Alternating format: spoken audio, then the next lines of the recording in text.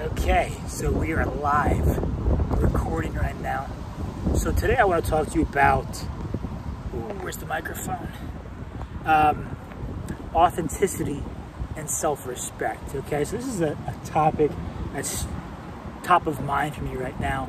And before I do that, I want to just talk about this whole content creation process. So what I don't want to do is write a scripted script and then read from the script and that's it. I don't want to do that. It doesn't feel authentic.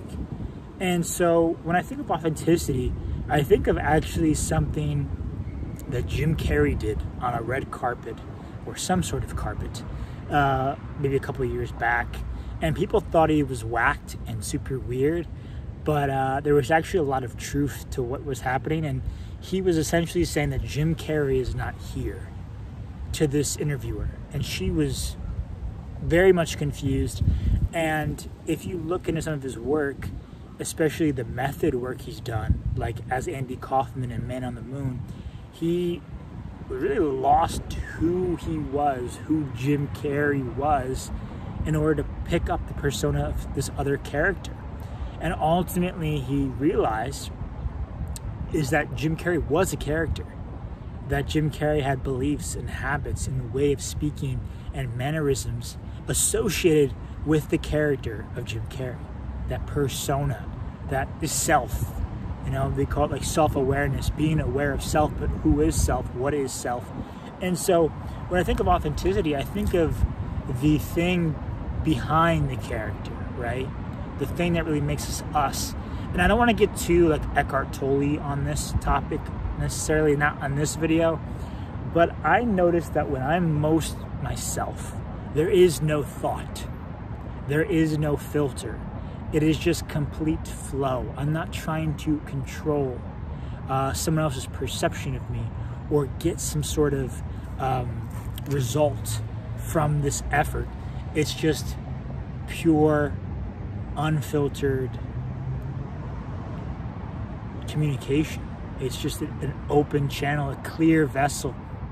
And so I was talking to my brother and my buddy about this earlier today is how do we do that with everyone? How do we be ourselves with everyone? And I'm not sure it's something you do, but perhaps it's something that you don't do. You don't try to conform. You don't try to get an external result or fulfill an expectation. Uh, you don't do those things. Instead, you just talk. No filter. There's no filter to this video. I have no agenda for this video. I'm not thinking about the views or the algorithm or how you're even going to receive this. This is just top of mind for me right now. And so I noticed for me in a lot of in a lot of instances that I've often tried to control others' perceptions of me. Uh, one because I wanted to fit in, I wanted to get a job, I wanted to get the what I thought was the approval and validation of a woman. And I still do this sometimes. It's, it's pretty tough, especially when you're crushing on a chick. Uh, you know, you want to have make a good impression. But I realized, and they say this like, don't chase, like, um, be you, right? Be yourself, okay? But they never really tell you how to do that. So the conclusion that I'm getting to as I'm saying this is don't do anything to be yourself, but rather don't do things to be yourself. Again, don't conform. Don't try to control a result. Don't try to fulfill a certain type of expectation that you have in your head for how things should go and play out. It's not going to work. It never does. And that's where the energy comes in. You can feel when someone's authentic, when someone's being real with you. Yesterday, I recorded this a video, and I'm gonna the video before this one. I'm gonna, post it anyway. I was tired. I looked cracked out of my mind because I was exhausted and hungry and depleted. Um, and I think it would have been more beneficial for me to lean into that and just be like, "Hey, I'm tired." And that's how I felt today at work. And then I got home and did an interview, and now I'm feeling a lot more alive and like myself. Um, and so maybe it's not just about not doing things, but also doing things that bring you joy. So there's a bit of juxtaposition and contradiction there. There's a little bit of both. Um, there's a car passing behind me very slowly. Interesting. Let's see. Yeah, okay. We're gonna keep going. We're gonna keep rolling. Maybe I should move that. Let's see. Okay, we're gonna we're gonna walk. We're gonna walk and talk as we do this. Ooh, look at the light. It's much better here. Okay. Yeah. So I think it's. Uh, I mean, I made a contradiction. Maybe it's not so much of not doing things, but also doing things that you enjoy doing, that bring you fulfillment, that bring you joy. And it's easy to say, much harder to do when you don't know what those things are. And I think at that point, that's where the experimentation comes in um, of experimenting with things. And again, the things, the litmus test for this is are there thoughts arising when I do this thing? Am I forcing myself? Is there resistance? There's going to be resistance on certain certain things that you care about, of course, but there shouldn't be so much resistance that you feel like you have to force it every time you do it. Um, and so, don't do certain things. Do things that bring you joy. Do things that give you no thoughts. There's no filter. It's just pure stream of consciousness, pure connection.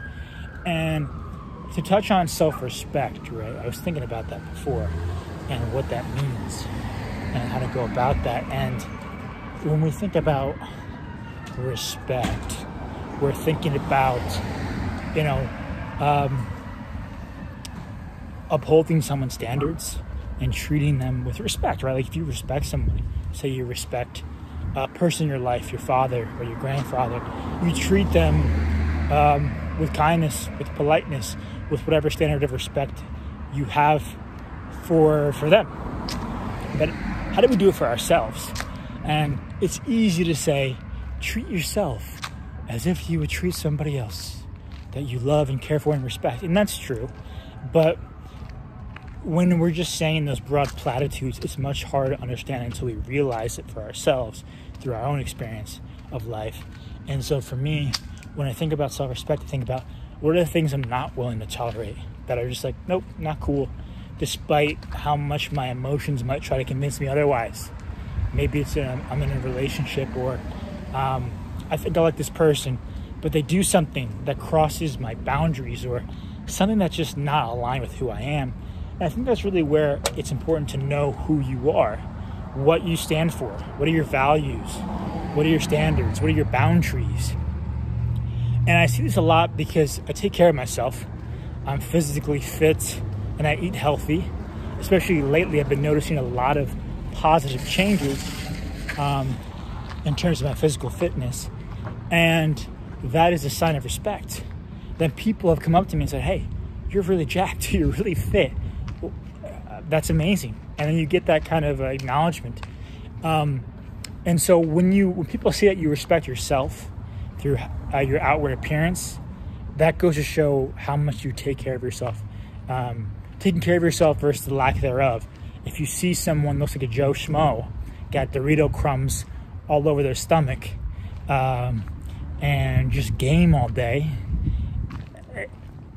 you can really, I mean, in this case, you really can judge a book by their cover. You could say, this person doesn't seem like they respect themselves a lot. Does, does, do you look down when you're talking to somebody? Do you have that confidence? This is a very broad kind of topic, but there's a lot to talk about when we do this type of thing. Hello, how you doing? So it's important to keep that in mind as you're going about your life. Say say hi to everybody. That's what you gotta do. Um, that's one thing I do pretty often. People are taking it back. Uh, those people that were just like, "What the hell is this guy doing?" Recording down our private driveway. But you know, free country, public property. I don't know. What do you want me to? What do you want to say? Um, so, authenticity, self-respect. Um, you're not always going to be hundred percent, hundred percent of the time. Sometimes you just gotta. Sometimes you just have bad days, and that's the realization that uh, I saw someone tweet about, where it's like instead of justifying or trying to change and optimize for for now just realizing that some days are not as good as others. And uh, sometimes we just gotta grin and bear it, be stoic in that sense, and move forward. So, hope this uh, perhaps inspired you in some way. Um, just learning these lessons myself and sharing what I learned along the way. Until next time.